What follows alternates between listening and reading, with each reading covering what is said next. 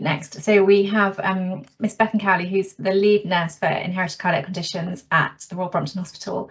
And she's going to talk to us about that really important area that Lucy touched upon earlier, which was that transition from paediatric to adult services. Um, I'm going to welcome Bethan, but I think, are you still having problems with your slides and would you prefer Andrea to share them for you? Hi Paz, hi everyone. Um, yes, please. I'm having a bit of a nightmare with Teams. I'm really sorry. I may have to switch off my camera as well because I keep cutting in and out, so apologies. Super. You just let Andrea know when you'd like to advance. Thank you very no, much. I'm sorry, it sounds a bit naff when I say next slide, please. So I apologise now, Andrea. Um, and thank you for your help. no, I am going to switch off. I'm going to switch off my camera though because in other um, meetings I've had today, I do keep cutting out. So apologies, but I'll switch on at the end as well. Um, so um, hello everyone, I hope, you, hope you're enjoying the day so far, another great CLICC session. Um, I hope it can continue. So I've been asked today to talk about um, paediatric transition to adult services. But I'm really trying to move away from this, so I'm sorry guys, but I've changed the title to the importance of transition. And that's because really want to move away from the, the fact that transition is sometimes seen as a single event as opposed to a process. And it's more than just transition to adult services about transitioning of the adolescent into adulthood as opposed to just services. So next slide, please, Andrea. so a couple of a few aims today. So um, there you go, four of them for us. Uh, the importance of a dedicated ICC transition service, considerations of an effective ICC transition service, young people in digital care, because that is important, especially now more than ever, and some future thoughts and possibilities. Next slide, please, Andrea. So um, let's talk about adolescence and young adulthood in general. So we know that the transition from adolescence to adulthood is a you know it's a challenging time, um, both physically, psychologically, and cognitively, um, and for and in social change as well. But then when you add in all the added issues of uh, chronic condition or a disability, it just uh, impacts them so much more, makes life so much more difficult for them, or it can do. So what we know is that well, in the UK, I'm listening, but I'm now in silence. Um, Hi, Tessa. in the UK, one in seven young people have uh, some sort of disability or a, a long-term medical illness, uh, i.e. asthma, diabetes, epilepsy. Um, you know, but the good news is, is that 90% of children with, with advances in care, 90% of children with congenital heart disease, for example, are surviving into adulthood.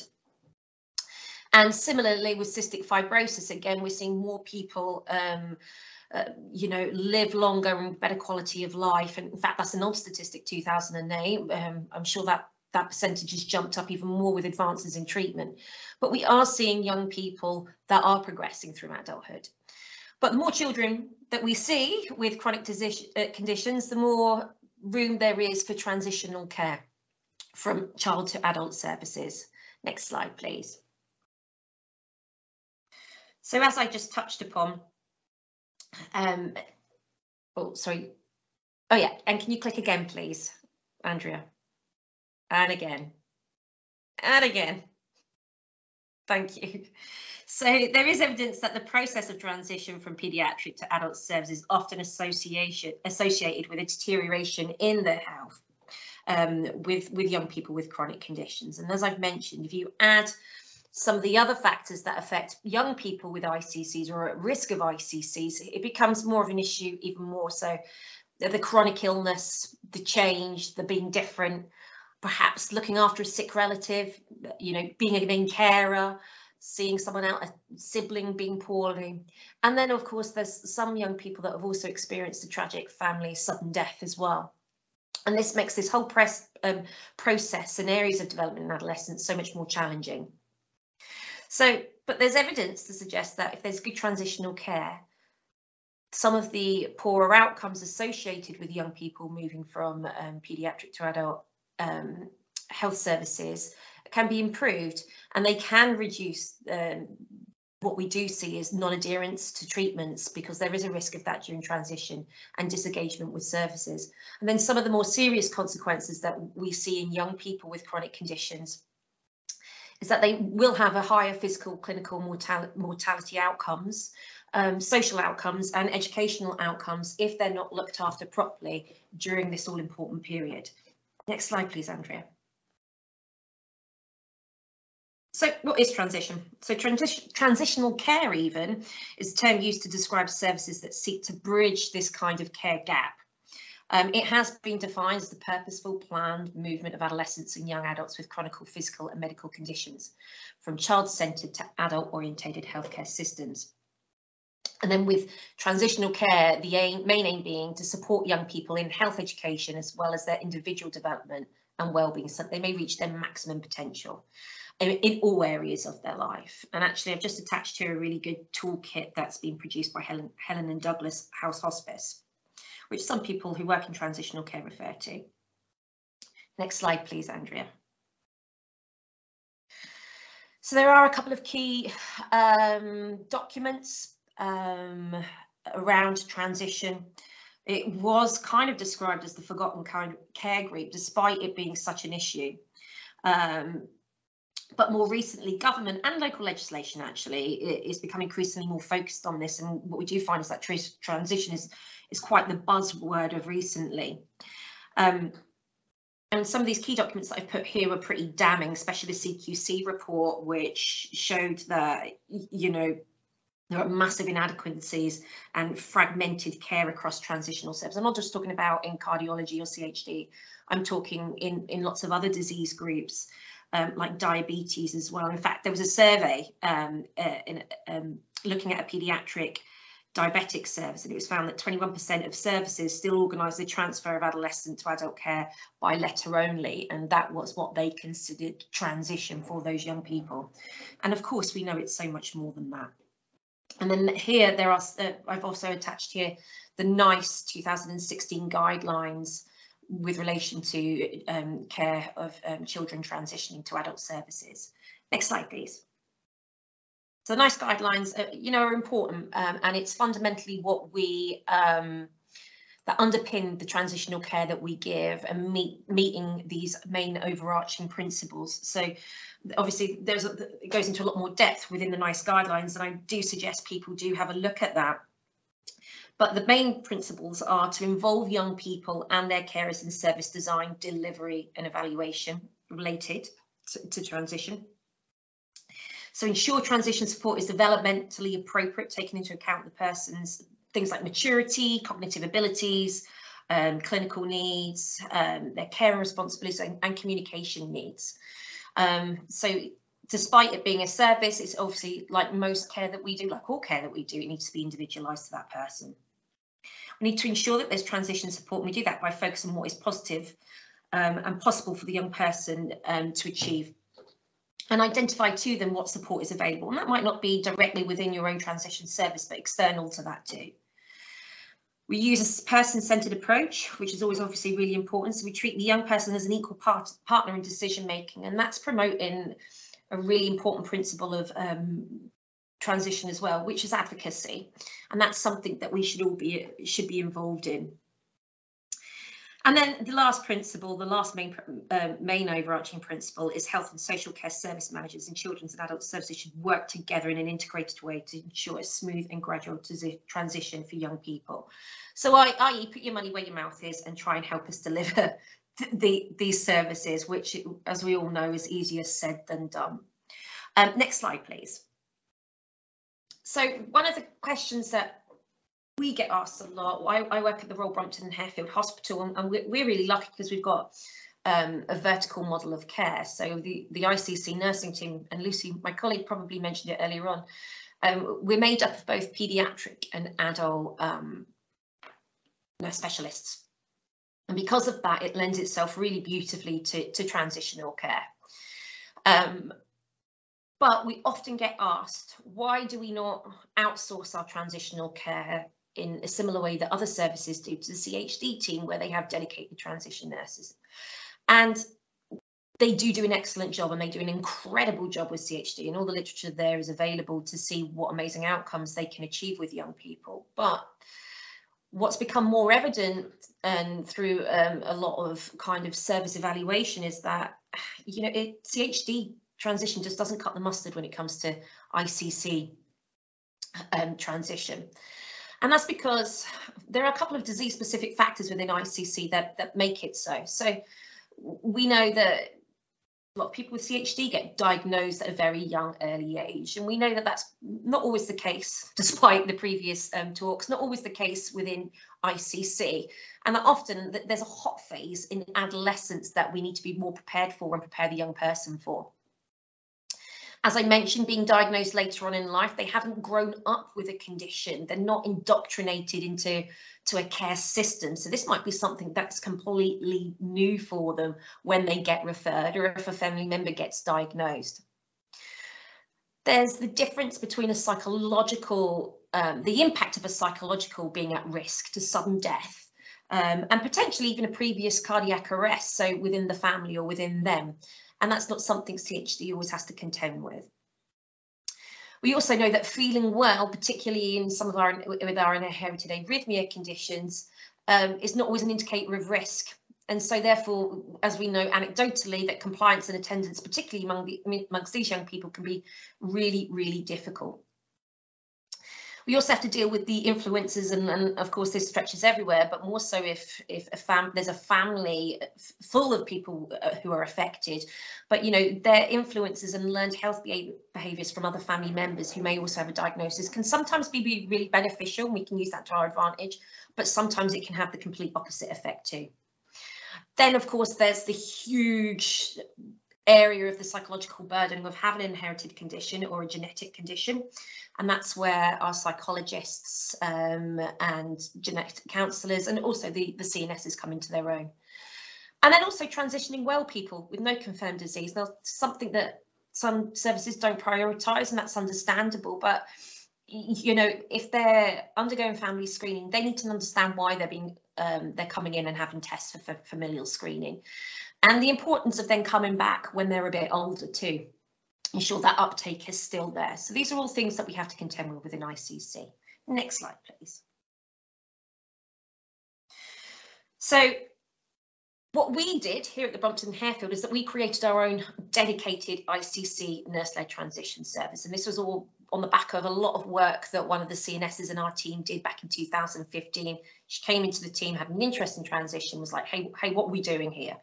With with transition. And she, she made she she created a project and looked at what young people are missing out on what their current experiences was and, and what they wanted. And then since 2015 we've probably reviewed this a handful of times through um, patient questionnaires feedback forms more focus groups. And this is kind of what we're looking at today. So we now have a, a nurse-led dedicated um, transition service like i said we carry out ad hoc nurse-led transition consultations for all young people between the ages of 12 and 22 across all consultant-led ICC clinics. Once a month, we have a dedicated nurse-led clinic. Um, it's a virtual clinic. It started virtually um, during COVID. Before that, it was face-to-face, -face, but actually it lends itself much more now virtually, and we can see a lot more people in that clinic, and that's again because of space. And we book people in there between the ages of 14 and 19. Um, but again, like I said, it doesn't mean they don't have transition consultations before that or after that, but they're more on an ad hoc basis. Consultations are all documented and sent to patients for their records, of course, and it's also kind of almost looks like a care plan to and a, and a record of what's happening. And within that, there's a, goals set for next time we see them. We obviously do the usual CNS stuff, which is CNS support, telephones, um, we have outpatient and inpatient presence. Um, we've created some dedicated literature and we're also um, really proactive when looking at young people um, ICC days. We had one a couple of years ago just before um, COVID at um, Chelsea Football Club and we're hosting one another one again this coming February in fact for all young people that are affected with ICCs within our within our organisation. But I guess that's more of the patient focused um, services. Beyond that, there are other things that make up a service and not just a clinic. And that's what we really want to impress upon is that transition isn't just a clinic, it is a service. So we have regular ICC nurse team transition meetings. We also have dedicated complex ICC transition um, handovers when someone is being transferred to adult and we might get the well we do get the involvement of the psychologist and safeguarding within those mini MDTs we have a dedicated pro forma where we can hand over so nothing gets missed. But we are pre very present and got our feet firmly under the table in our um, Trust Transition Steering Group so that we can learn from and, and hopefully direct transitional services across, across cardiology within Royal Brompton and, and Harefield hospitals.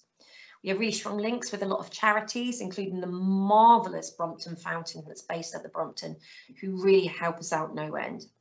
Um, we have an absolute medical MDT approach to all of the healthcare needs of our young people, and that often involves psychology, genetic counsellors, physiologists, pacing technicians.